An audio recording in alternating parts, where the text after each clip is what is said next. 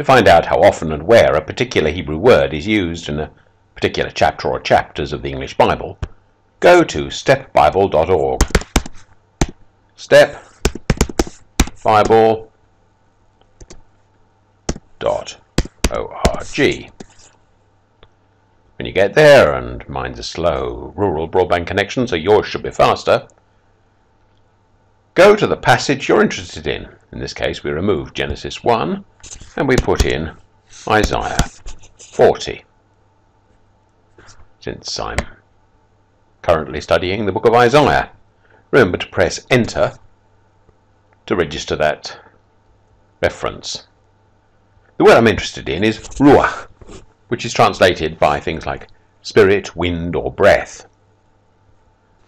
And my guess as to the first place it occurs is down here in verse 7.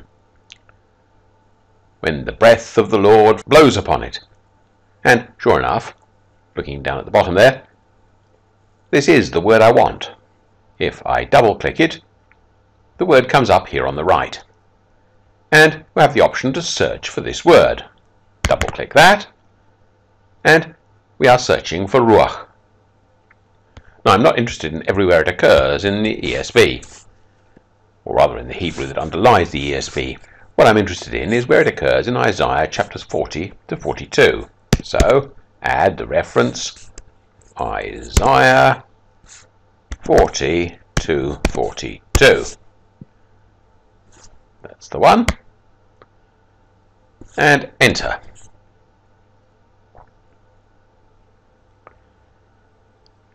And it occurs twice in Isaiah chapter 40, once translated breath of the Lord, the other time translated spirit of the Lord.